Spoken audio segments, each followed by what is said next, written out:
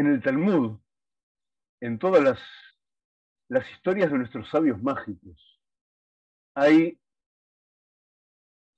hay muchísimo. Eh, hablamos hace unos días, cuando hablamos de, de Rabbi Abraham y Ushua Heschel, hablamos de que la mayor parte de la, en general, la Torah oral está dividida en dos grandes grupos de textos. Lo que es alajá, lo que es legislación y normatización y, debate jurídico, y lo que es agadá, que es todo lo que no tiene que ver con ley en sí mismo. Agadá es todo lo que nos va a ayudar a pensar, es la exégesis, es la homilía, es el mundo de parábolas y de metáforas que hay en el Midrash, que en general no pretenden tener veracidad histórica alguna.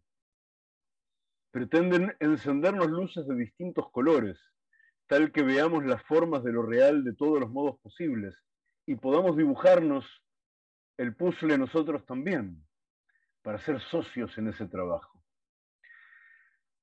Hay algunos personajes destacados por tener cosas muy borrosas, cosas que por alguna razón no quisieron, o Akadosh Barujú no quiso, o todo se tramó de modo tal que no podamos tener a su respecto datos claros.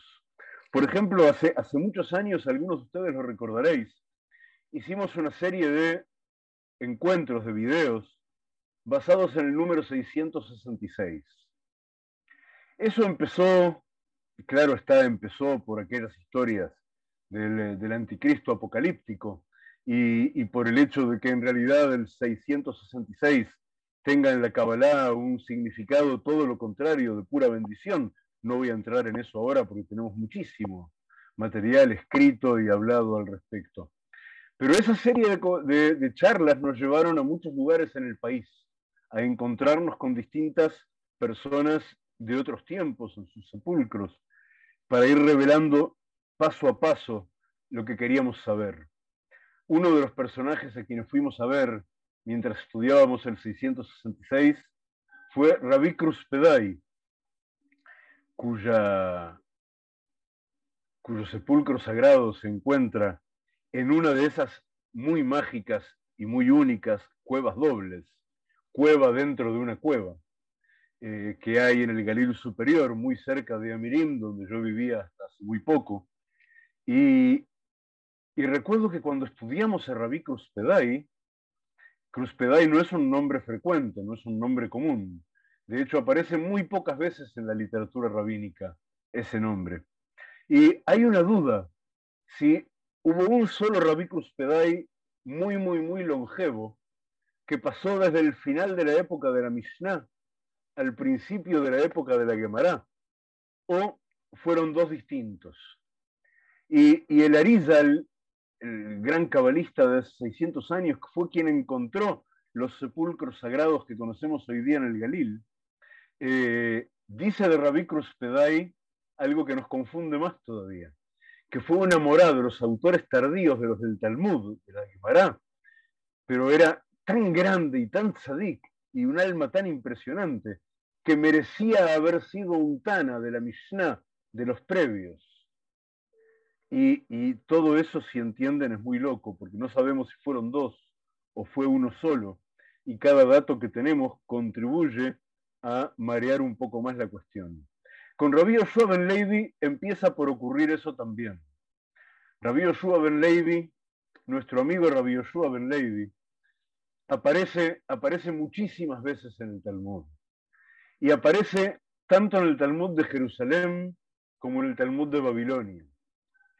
Y, y en algunos casos aparece y da la impresión de que es un Tana, un hombre de la época de la Mishnah. Él es Yerushalmi, él es nacido en Jerusalén, y pasó toda su vida básicamente en la tierra de Israel. Y, estudió Torah en una yeshiva en la ciudad de Lod, donde luego se quedó y fue Rosh Yeshiva, dirigió una yeshiva, y por fin dirigió otra yeshiva en Tiberia, en la ciudad de Tiberia, sobre el final de sus días, y llegó el momento de morir, y caramba, no hay un sepulcro de Rabbi Yoshua Ben Levi. No podemos preguntarnos de quién es el sepulcro porque no hay un sepulcro de Rabbi Yoshua Ben Levi. ¿Por qué Rabbi Yoshua Ben Levi es una de las nueve personas de quienes se dice algo de lo que vamos a hablar en un rato?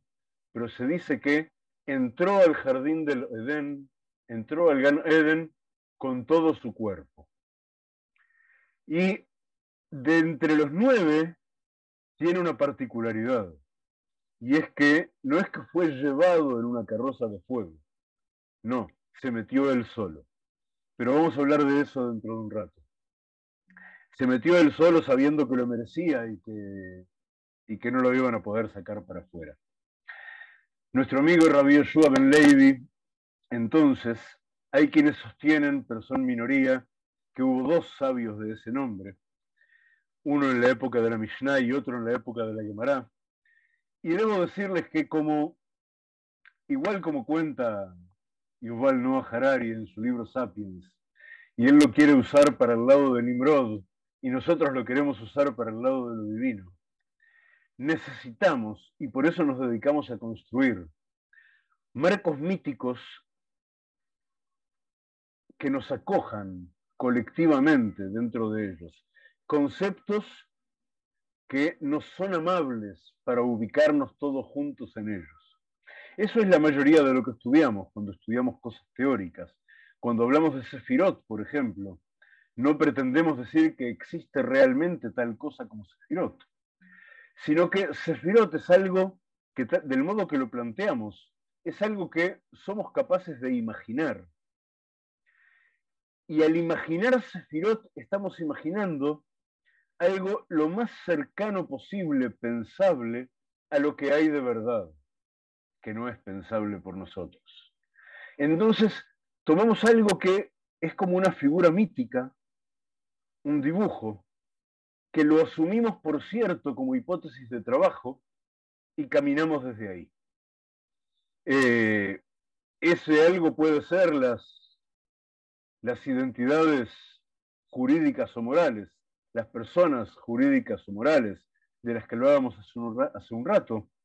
Y puede ser todos, todos estos dibujos que hacemos con las ideas que nos da la Kabbalah, con las ideas y los conceptos que trae la Hasidut, y con el modo que, despacito, con los pasos de todos, vamos constituyendo en, en un marco que también es una metáfora mítica, que no está en ningún lugar físico, y que lo llamamos el templo de pasos, y que a la postre es un modo de unirnos en, la labor deleitable de establecer la conexión entre lo divino en que soy y lo divino que hay en mí. Es, es un modo que intenta tomar la cultura de la que venimos cada uno de nosotros y lo que somos capaces de comprender de lo que nos legaron los grandes sabios de otros tiempos.